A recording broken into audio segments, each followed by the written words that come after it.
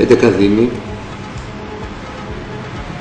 που βρίσκονται στην περιοχή της Μακεδονίας, της Υπήρου και της Θεσσαλίας αποφασίσαμε να συγκροτήσουμε την πρώτη ψηφιακή κοινότητα στη χώρα μας. Μια περιοχή που καλύπτει περίπου ένα εκατομμύριο πολίτες. Και ο στόχος αυτής της στη σύγκλησης της πρώτης ψηφιακής κοινότητας είναι οι 11 αυτοί οι δήμοι που συμμετέχουν σε αυτή την πρώτη ψηφιακή κοινότητα να εξυπηρετήσουμε όσο δυνατόν περισσότερο τους πολίτες μας χρησιμοποιώντας τη σύγχρονη τεχνολογία. Χρησιμοποιώντας τεχνολογίες που θα τους δώσει τη δυνατότητα να εξυπηρετούνται καλύτερα στην καθημερινότητά τους και στα διάφορα προβλήματα που τους απασχολούν.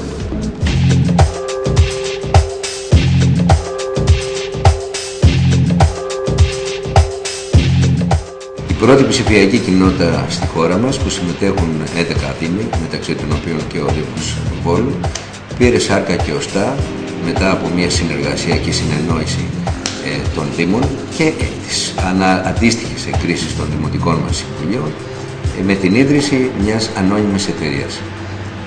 Στα πρώτα βήματά της η ανώνυμη αυτή εταιρεία πέτυχε να προετοιμαστεί κατάλληλα ούτως ώστε ανοίγοντας το ΕΣΠΑ, το τέταρτο κοινοτικό πλαίσιο στήριξης και το πρόγραμμα που μας ενδιαφέρει για την ψηφιακή σύγκληση, ετοιμαστήκαμε και κάναμε τις πρώτες προτάσεις.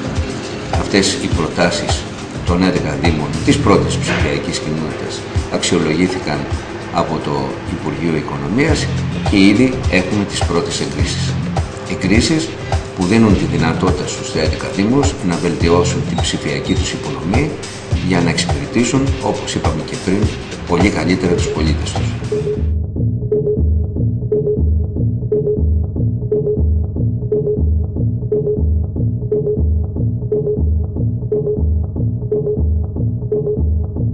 Ήδη η προσπάθεια αυτή της πρώτης ψηφιακής κοινότητας είχε τα πρώτα θετικά αποτελέσματα. Οι προτάσεις που υποβάλαμε στην διαχειριστική αρχή για να εγκρινηθούν προγράμματα που θα ενταχθούν στο πρόγραμμα ψηφιακής σύγκλησης που συγχρηματοδοτείται από την Ευρωπαϊκή Ένωση, από το ΕΣΠΑ, είχαμε θετικά αποτελέσματα σε τέσσερα από αυτά. Εγκρίθηκαν λοιπόν τέσσερα προγράμματα. Και τι είναι αυτά τα προγράμματα; Το πρώτο πρόγραμμα αφορά την τουριστική προβολή των 11 Δήμων.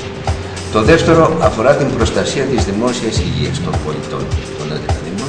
Το τρίτο πρόγραμμα αφορά την αυτοματοποίηση της πληροφορίας για, για την κυκλοφορία στις πόλεις και τις μεταφορές.